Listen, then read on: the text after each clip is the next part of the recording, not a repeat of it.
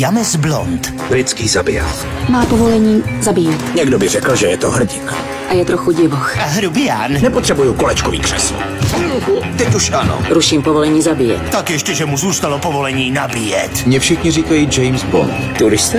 Terorista. A vrchní klátič. Vím o tobě vše 007. Sex k večeři, smrt k snídaní, ale na mě to neplatí. To říkala každá pusl.